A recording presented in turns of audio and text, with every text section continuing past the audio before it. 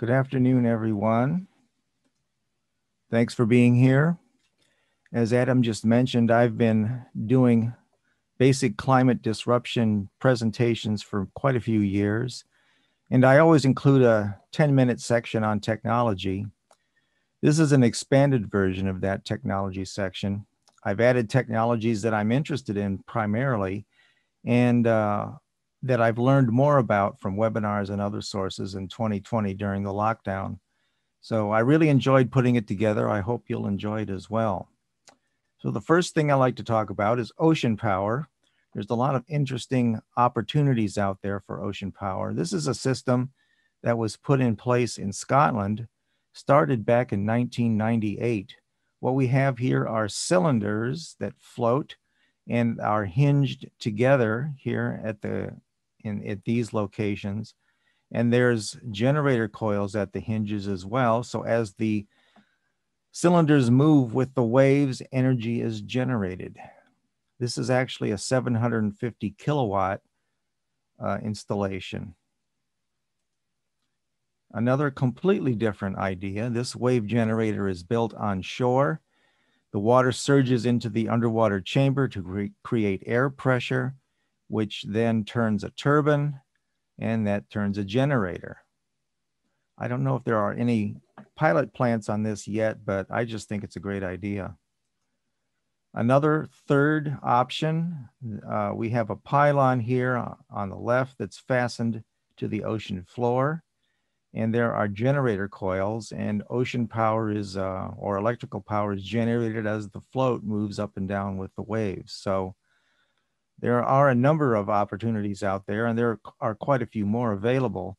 This one was put together by Annette von Jouanne at OSU, which is Oregon State University.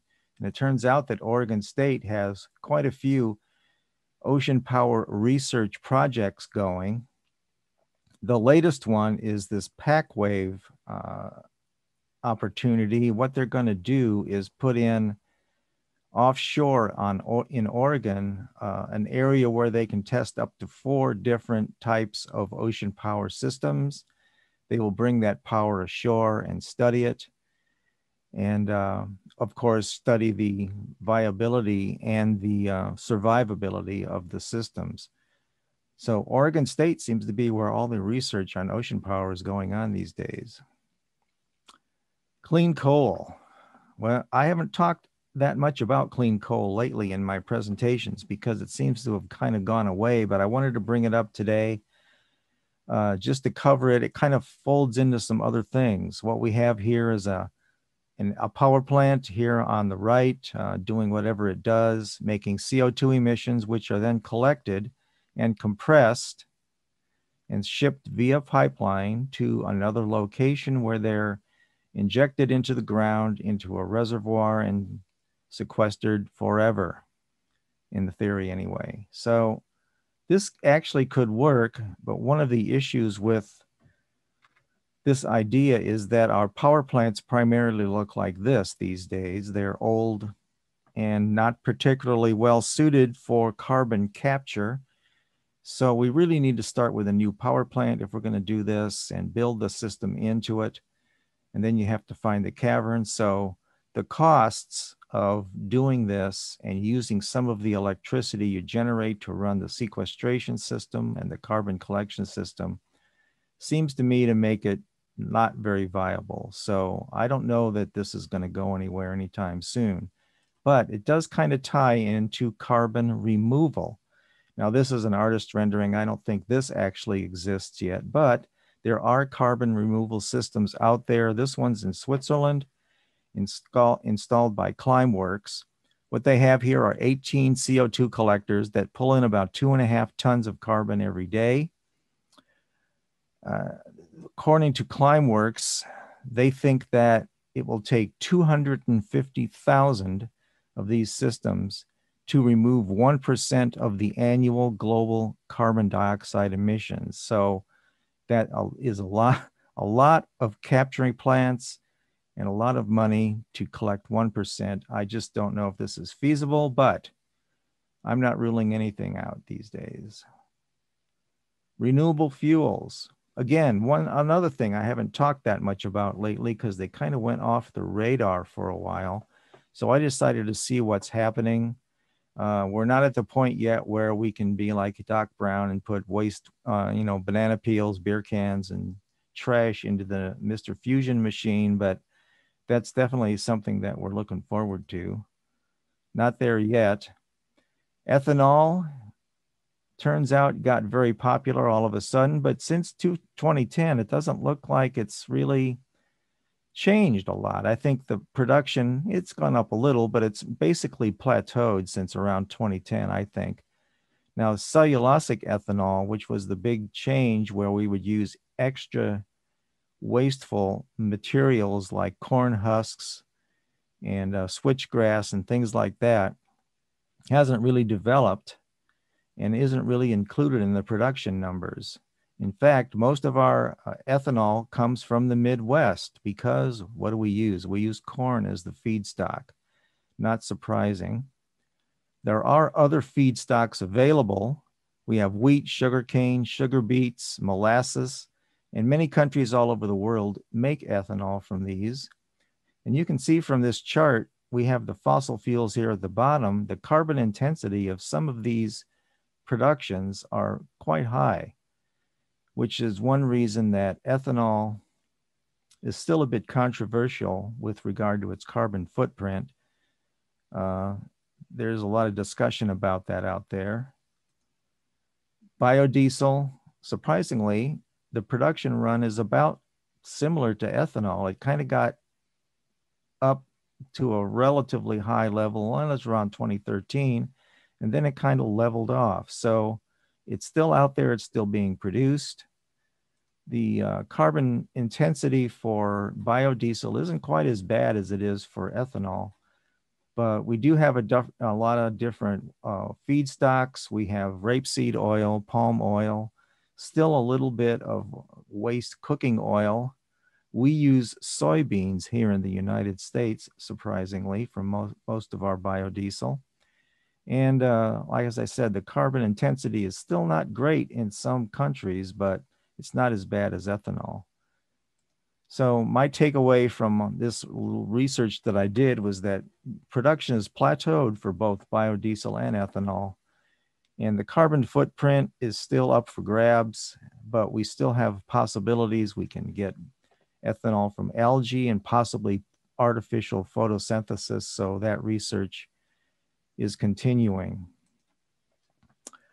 Alternative vehicles. This is one of my favorite subjects, as you'll see. This is a General Motors EV1 from around 1995. If you don't know me, uh, you won't recognize me. That's me behind the door. When I was working at the Ventura County APCD, we had one of these on loan for a couple of months, and I got to drive it. It was a lot of fun. Uh, it was pretty quick, two seater but the range was only 30 to 40 miles. So it wasn't really good for much of anything but driving back and forth to work. Now, electric vehicles, of course, have been around for a long time. This Detroit electric vehicle was actually produced or one very similar to it by this company between 1907 and 1939. And they produced a few other models as well. So electric vehicles have been around for a long time Of course, we have better electrics now. We have the um, Mustang Mach E just coming out. Uh, Mini Cooper has released a new electric vehicle. The Nissan Leaf has been around for quite a while. Uh, the Chevy Bolt is out there with a B. And of course, Tesla has many models. This is the Model 3, one of the most popular ones these days. Now, most of these electric vehicles have a range of about 230 to 250 miles, although there are exceptions. Supposedly, the Mustang will go 300 miles. The Mini will only do 110 miles on a charge, and the Nissan Leaf is about 220, two, uh, 226. So this is decent range. I mean, you can do a lot with that, but for me, I would prefer to have something more like 400 to 450 miles of range uh, if so I could do a little bit of long haul traveling. But uh, there are some other possibilities out there. The sublime vehicles like the Porsche Taycan, uh, which I understand sold very well last year. They sold 20,000 of these at $100,000 a pop, which is pretty good. The Lucid Air is uh, taking orders. The Lightyear, I don't think is available yet or in production yet, but this uh, panel on the top is supposed to be solar panels. So that will generate electricity while it's being used, not enough to run the vehicle, but enough to help out with charging the battery. So the range on these is a little bit higher, the, except for the Porsche. It's only about 250 miles, but the Lightyear and the Lucid have ranges up in the 500 mile range uh, if you get the advanced battery packs. And of course, we have China in the game also. We have these very strange little vehicles. I don't know if any of these will actually make it to the United States. My understanding is this Kandi K23 might make it, but it could cost as much as $30,000. And the range is only about 188 miles. So it's anybody's guess what will happen with the Chinese vehicles. Of course, we have electric pickups coming, the Cybertruck, we've all probably heard about. It's supposed to have a 500 mile range, and that would be nice. Uh, this is an alternative design I ran across, which I thought would be a little more, con- not exactly as wild as the first one, but either way, there are other trucks also on the way. Rivian is supposed to have a, an SUV and a pickup. Ford F 150 electric vehicle pickup is on the way. And GM is, uh, pr- is proposing three new Hummers. The first one uh, in the fall of this year. Now, the interesting thing about the Hummer and some of these others is the range is does tend to be a little bit higher, between 300 and 350 miles. Rivian is claiming they might be able to get 400 miles. Uh, but the thing about the Hummer is that it's a very heavy vehicle. But you can see with this cutaway that the Ultium battery here is very thick and very large. So they're compensating for the weight of the vehicle by putting an extra large battery into it.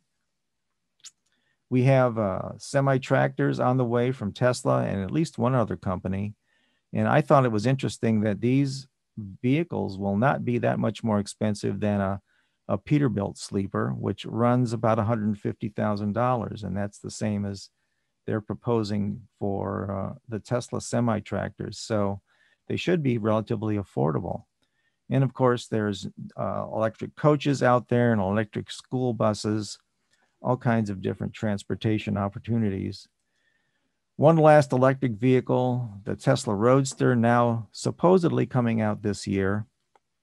Aside from going 100, 250 miles per hour top speed, the range is proposed to be 620 miles.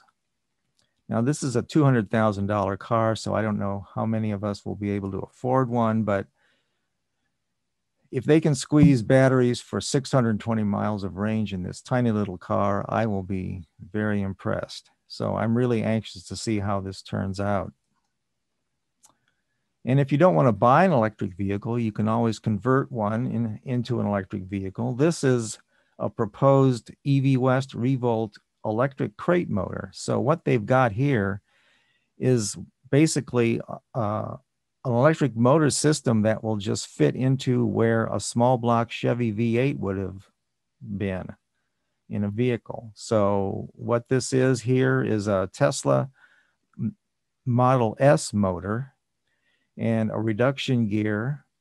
And then here on the left is a U joint which fastens right up to the um, to the to the drivetrain of the uh, of the vehicle. So you supposedly can just whip the engine out and just pop this in and have an electric vehicle. Of course, you have to install batteries and a control system, but this is an opportunity that that may be available sometime in the near future.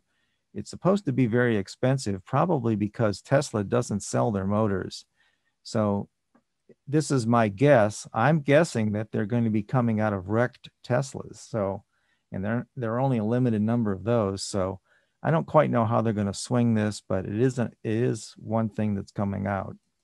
Another uh, opportunity, uh, Chevrolet is coming up with an e-crate system to cra- to transform your uh, GM vehicle into an electric vehicle.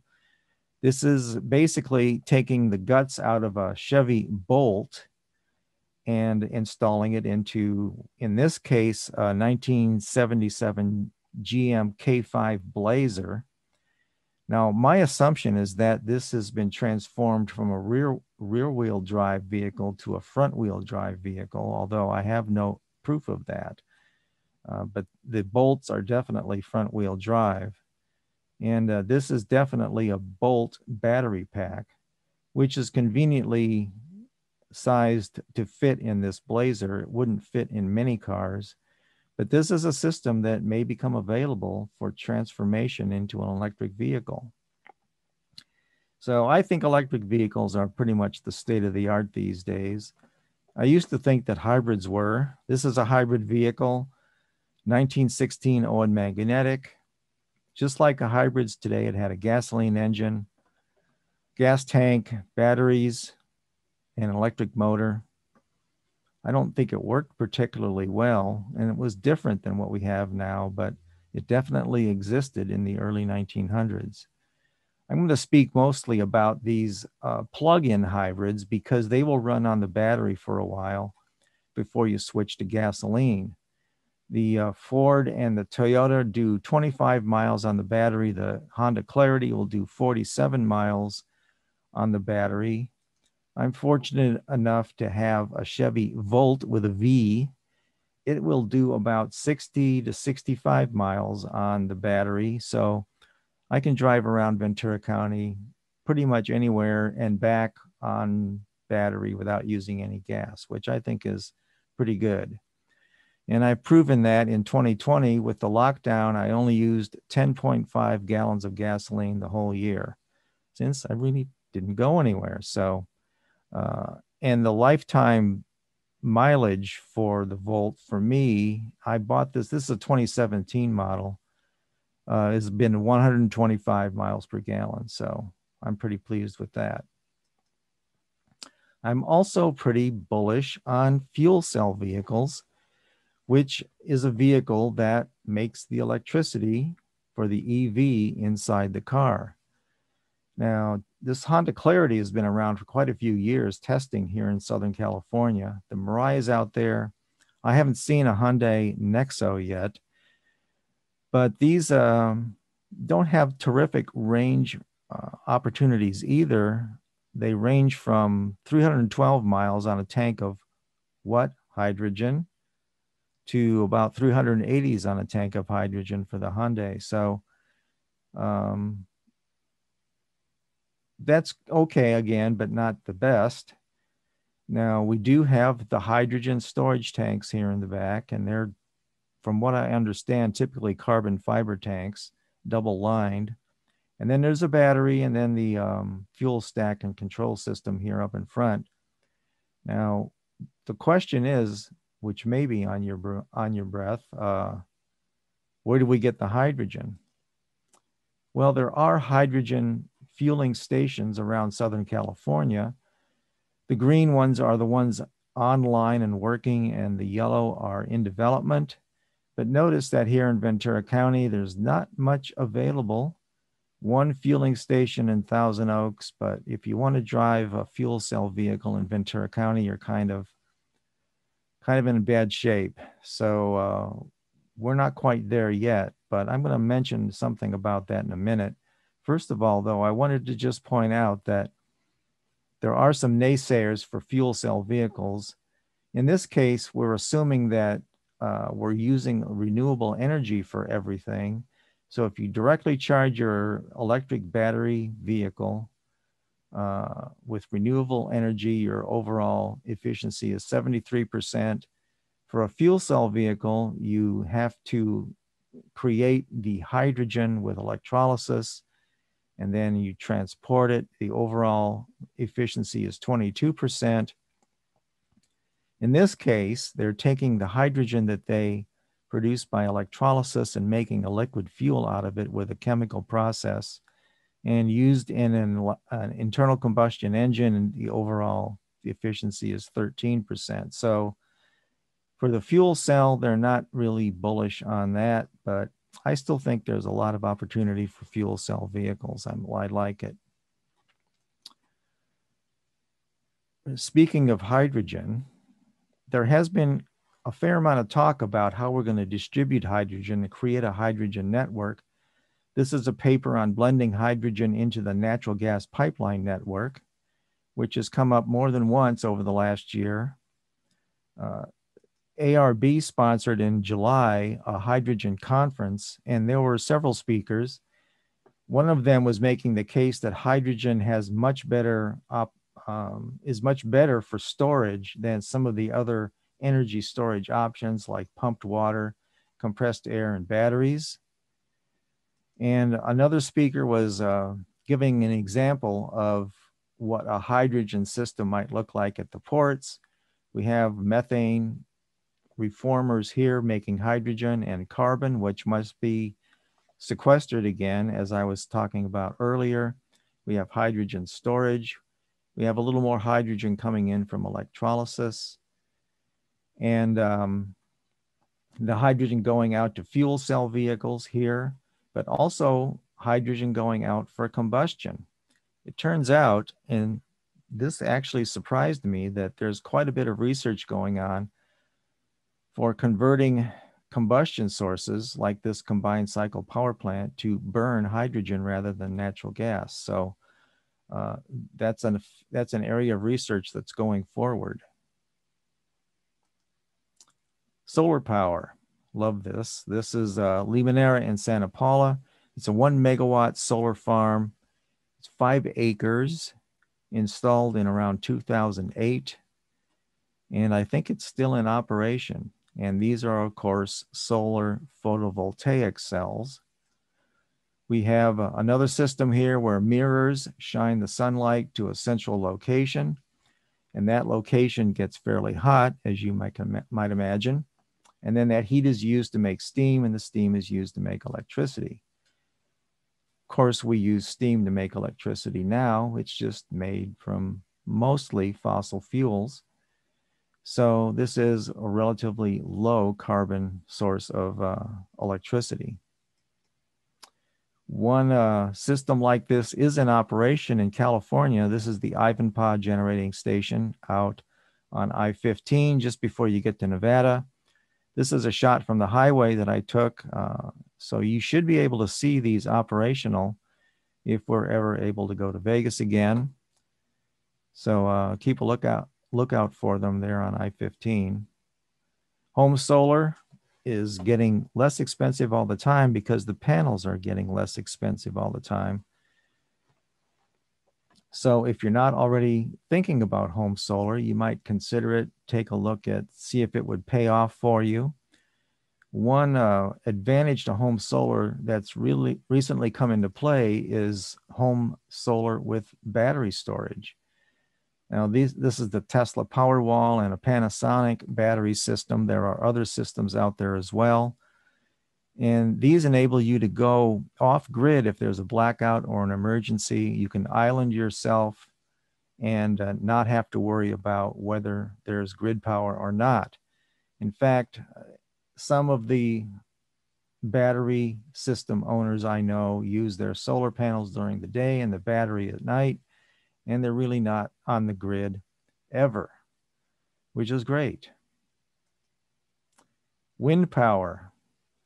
There's wind all over the place out in the Midwest. It's it shocked me when I was traveling out there the last few years. There's probably a hundred wind turbines in this photograph, uh, which interests me because we sort of started the wind turbine thing here in California. We had the San Gorgonio Pass Wind Farm uh, in the Coachella Valley. We probably had these little tiny wind turbines out there.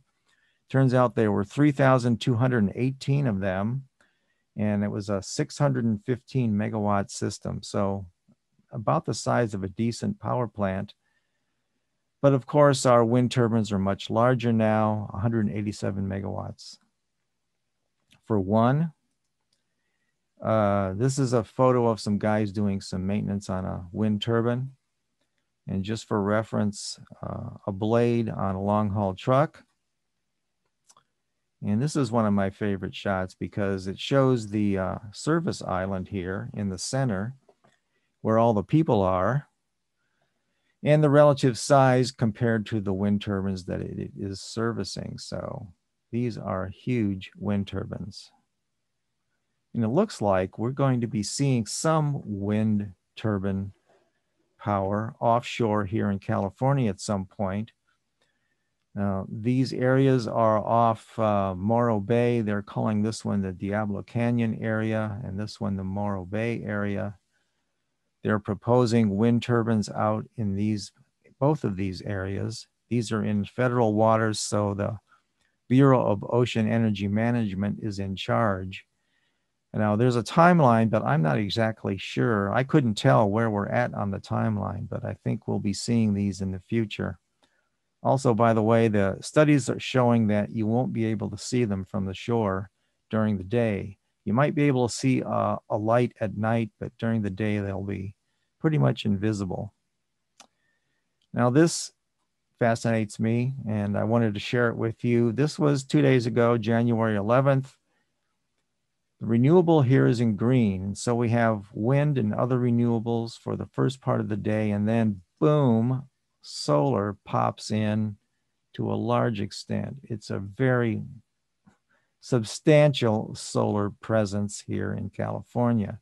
Then, of course, it goes away in the evening, and some other renewables take take uh, take over. But and we still have quite a bit of natural gas use. That's what this orange line is. This is natural gas picking up in the evening. Um, I just am astonished that the uh, solar is so prevalent in our renewable resources. Here's a, a chart of that same day for the solar uptick. And I guess this is what they call the duck curve, or the one before was the duck curve. So solar is going to just continue to grow here in California over the next few years. And uh, speaking of solar growing, we are here in Ventura County hosting a new energy storage facility. This is in Oxnard off of Ventura, uh, Vineyard Avenue, actually. This is a rendering, and actually, this system might be in place by now. I don't know. It was supposed to go in, uh, start construction on June of 2020, but this is the, the system here. And then they have another blank area, empty area here to put in another one, hopefully. They're going to uh, use Tesla Megapacks for this particular system. This is 100 megawatts. It'll service 80,000 homes for four hours. And then you have to recharge it. Now, this is another system that's already in place owned by SCE. This is in Ontario. It looks very large, but actually, this is only a 20 megawatt system. Uh, these might be different battery packs, probably are. So it'll only do 15,000 households for four hours. And there are, of course, other energy storage systems. We have the batteries here. There's the flywheel system, where a flywheel is turning with uh, power from electricity in a vacuum on magnetic bearings to cut down on friction. And then when we need electricity, you go back to generation with that uh, radial motion. Uh, a couple of other opportunities pumping water to a higher reservoir. And then when you need electricity, you let it flow down into a generating station and uh, compressed air. Compressed air is pumped into a cavern. And when energy is needed, it's let out and runs through a turbine and generator. So there are other opportunities. I have one last one here I think is particularly interesting. This is solar thermal power. And uh, this is a, a plant in Morocco that can store up to 100 megawatt hours of thermal energy in a bed of packed gravel. And uh, this exists, but I don't have any information on how efficient it is, but it definitely is in, is in production already in Morocco. So, last big subject nuclear power. Nobody in the climate movement likes to talk about nuclear power. Fusion keeps popping up every few years. 2015, there was a big article in Time about it. But first, I'm going to talk a little bit about fission reactors, which turns out are being downsized these days. This NuScale fission reactor is basically the same as a larger reactor. It's a traditional light water reactor. It's only 60 megawatts, though. And um, it's 65 feet tall, nine feet in diameter. And it's designed to be used at small for small towns and remote locations and it can be um, it, the output can vary so it can fill in some of that duck curve we were just looking at a little while ago. Now there's at least two more systems out there. This is one developed by the university of illinois at urbana-champaign it's called the ultrasafe nuclear corp and it's a similar design. Uh, this one's supposedly lower power density, so it's less susceptible to meltdown. But the interesting thing is it's sealed when it's installed. It's fueled once and it never is refueled again. With the 20 year life, it's supposed to, uh, it'll supposed to run for 20 years on one fueling. So that's one, another uh, opportunity for nuclear fission. A third one I don't know as much about. This is only a 1.5 megawatt system for electric power and heat. Uh, apparently, the heat is used to make electricity. There's not a lot of detail about what this is, but uh, it's another third small uh, fission system out there that's going to be available at some point in time, probably. Now, uh, back to fusion. I am not a nuclear engineer. I don't know that much about nuclear power, but I'm going to go over these really quick because I think they're kind of interesting. We have the tokamak here the magnetized target reactor and the colliding beam reactor.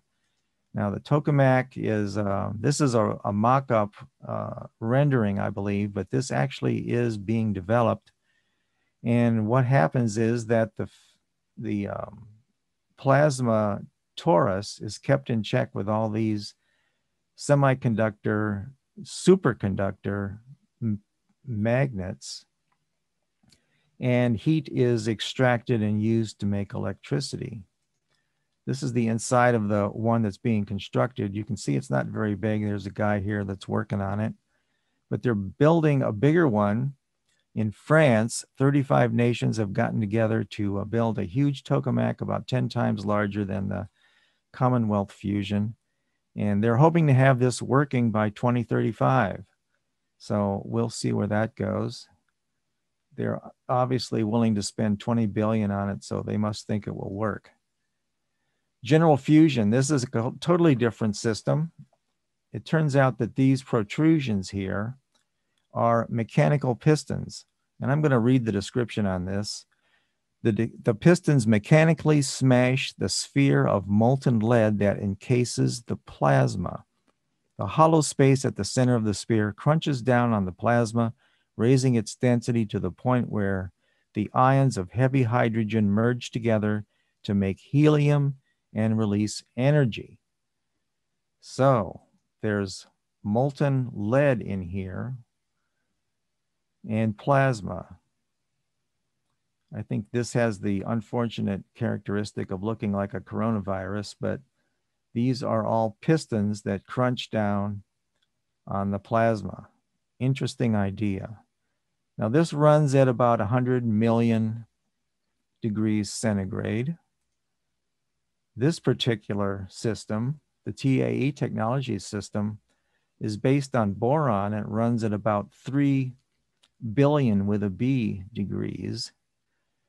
What they've got here, again, I'm going to read the description. Instead of fusing isotopes of hydrogen together, TAE is working on fusing single protons of nuclei of boron the reaction results in an ion of standard carbon, but one that is too energetic to remain stable it falls apart, decaying into three helium ions and a burst of gamma rays.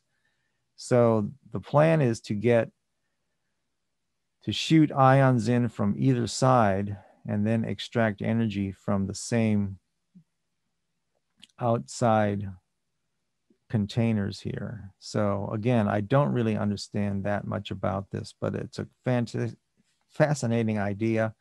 I don't know how they're going to get it to work, especially at 3 billion degrees.